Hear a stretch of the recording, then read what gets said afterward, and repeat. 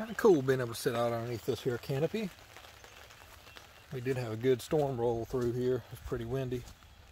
So I came out to see if, you know, had any any wind damage at all and everything's doing great.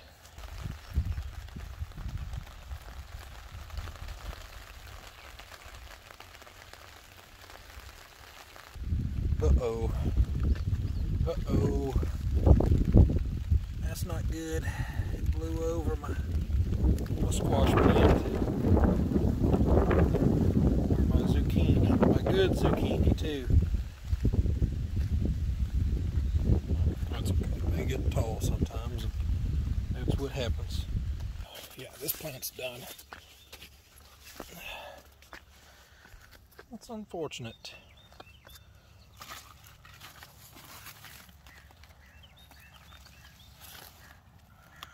Definitely, he's got some issues. Here's a big plant too.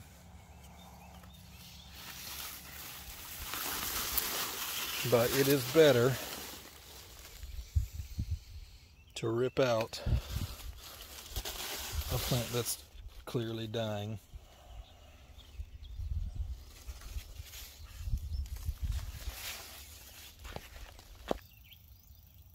There's a nice little squash bug hanging out down there at the bottom.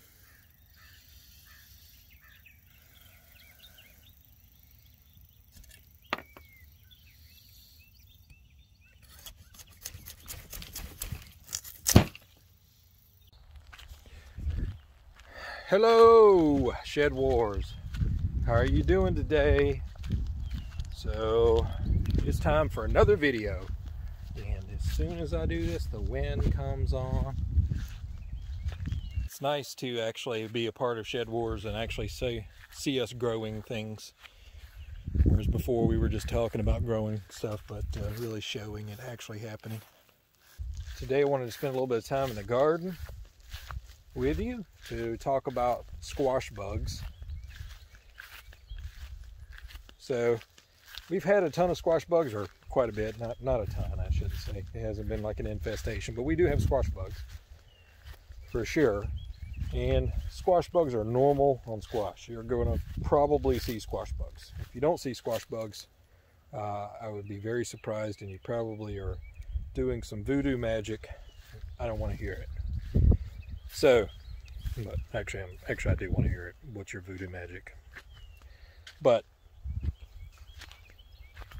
we have all these beautiful squash plants that have been producing like crazy for us and are going to continue to do so for a little bit longer. There's some zucchini down there. And uh, we've got more squash coming up over here as well. And squash have a couple of pretty bad uh, pests. I mean, there's more than two, but the two that you really care most about are squash bugs and vine borers. Now, we did pull out a couple of plants over here that looked like they ha might have vine borer damage. Uh, for those that don't know, a vine borer is actually a moth that will have a worm or that will hatch as a worm and will go into the base of the plant and eat it from the inside. It'll eat the inside of the base. I'm over here. Found myself a little zucchini that can be picked. Actually two hidden under here. This one looks like it hid from me for a few days. Cool, we got a couple zucchini. But so the point of this video is not to pick zucchini. Although, if you grow zucchini, you know that you're always picking zucchini. There's nothing you can do about it. It's a constant thing once they start growing. So again, a, a vine borer will get into Matter of fact, let me go over here and use, well, this small one right here will work as an example. So vine borer will get into this stem right here and it will actually eat it from the inside and the entire plant will die. So you do not want a vine borer. They are the worst. Um, squash bugs will do damage and can kill an entire plant. They can. But what they do is they suck on the plants. So they're suckers. They stick their little tongues inside the plants and suck the juice out of it. And the damage that they cause can cause you know leaves to wilt and the whole plant to eventually die. But you also may just get some damage on some and then the plant just survives. So if you ever see a vine borer moth, and I'll put a picture of a vine borer moth up there, kill it. Don't know of any good purpose they have, but I know they do extreme damage to uh, squash plants. Um, so I try to get rid of those. Squash bugs, less so much. They look like little stink bugs. They're not exactly the same thing, but the uh, squash bug will again do a lot of damage to the plant because they'll put a bunch of eggs underneath the leaves of the plant. Those will hatch into these little nymphs and then they will grow up and they will also feed. And they're also really difficult to um, di difficult to kill as adults. So you want to get rid of the eggs, kill the nymphs, and try to defeat them that way because it's really hard to kill them as adults. Now, I believe pyrethrin can kill them as an adult if you spray them, but I'm not 100% on that. I'll try to do some research and if I find that. I'll put that in here. But a lot of pesticides and stuff won't work for them. So once you get them, it's really just squish them. Manual pesticide, homicide of, of pests. Oh, there's a little squash bug right there. Speaking of the devil.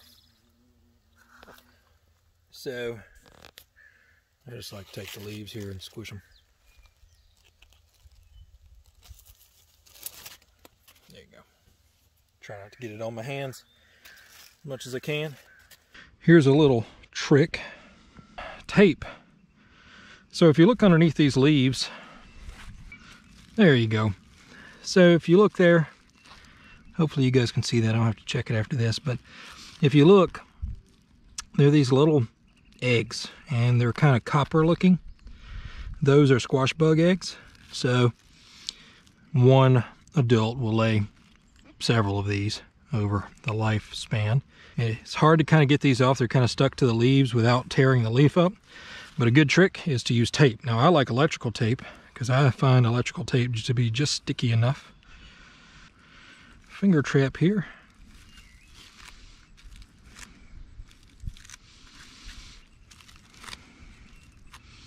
Can actually get them to come off onto the tape. And then you can actually squish them. They seem pretty hard, but they're actually fairly soft. You can squish them. They just kind of pop. And, uh, and that kills them. And that's what you want to do. You don't want to just drop them down into the soil because all that will do is they'll just grow down there. But push the tape in pretty hard, pull off, and you got yourself some eggs. This is a lot easier than trying to pick them off and does less damage to the plant. Here's some right here on top.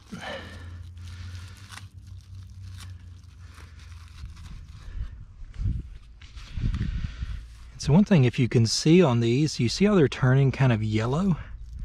So they go from copper to a kind of brown and then they start to yellow and the yellow ones are when they start to become a little more clear or when they're about to hatch. So doesn't matter when they are about to hatch, you want to get them all off. So there you go. Matter of fact, if you look at that one, I think there's actually a little aphid or a little uh,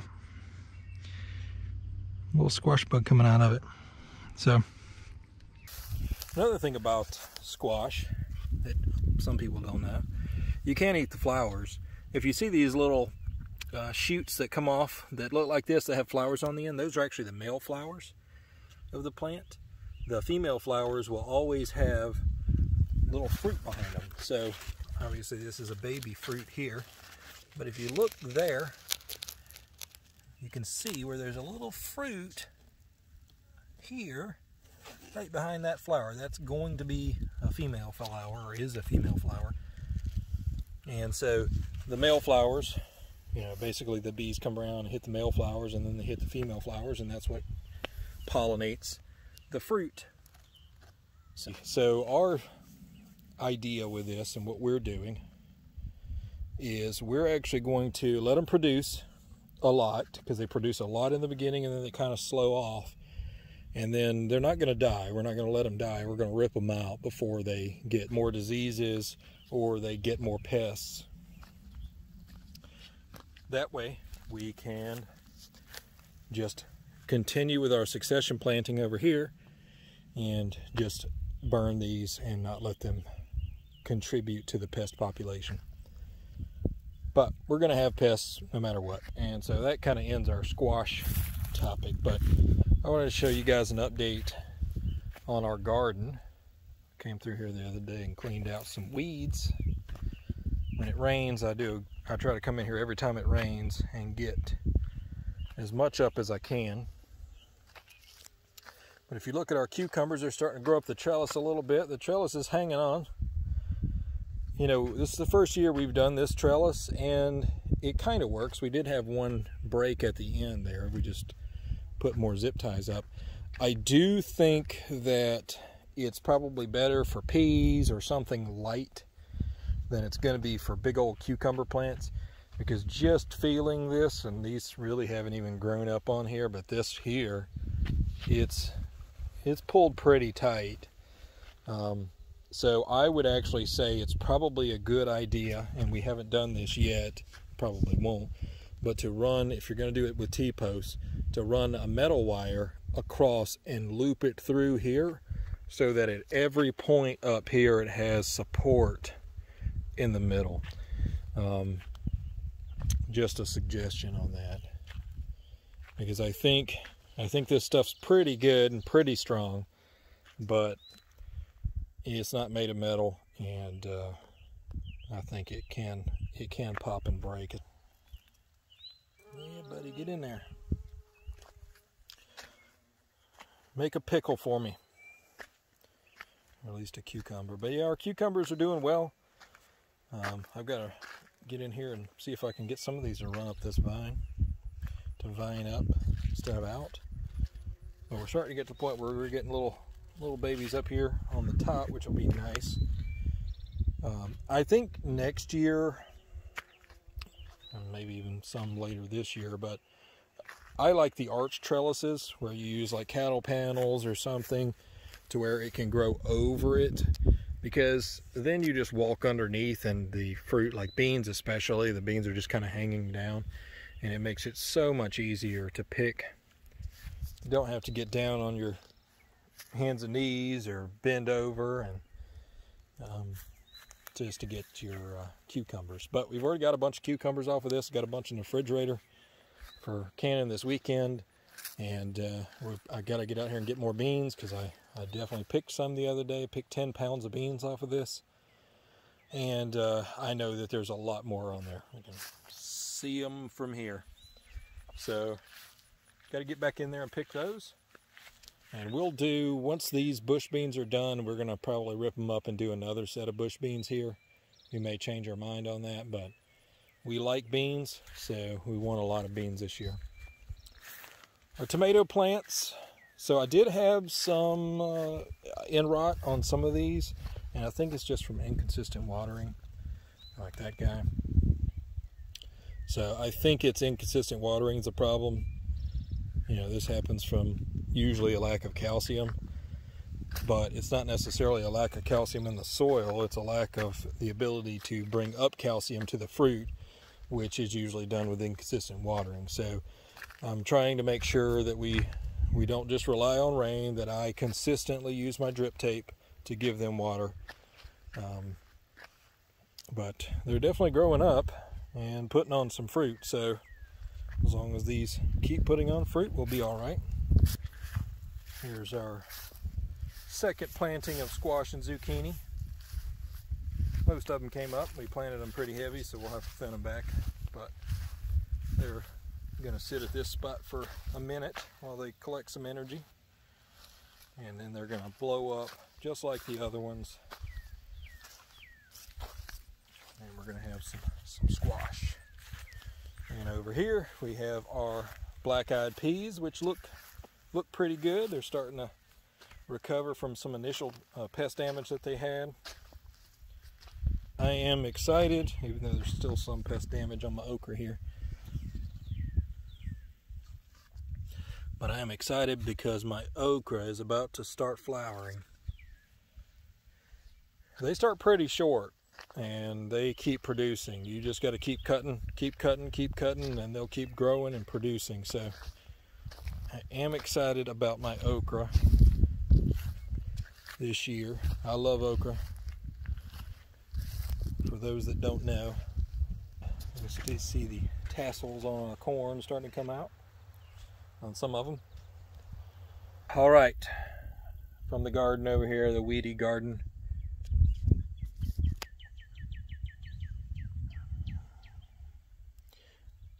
I'll see you guys on the other side.